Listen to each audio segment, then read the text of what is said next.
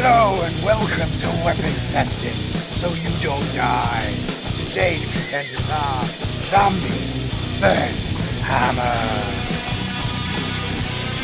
What? It's over already? I demand round two.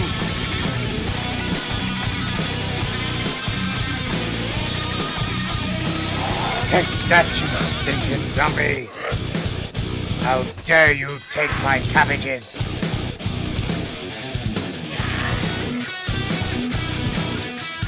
Hammer wins, so don't drop it, kids. Urgh.